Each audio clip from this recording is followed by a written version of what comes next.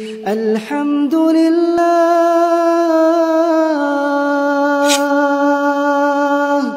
الحمد لله على نعمة الإيمان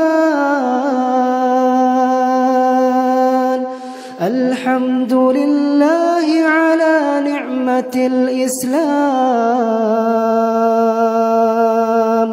الحمد لله على نعمة الهجرة. الحمد لله على نعمة الهداية. الحمد لله على نعمة المغفرة.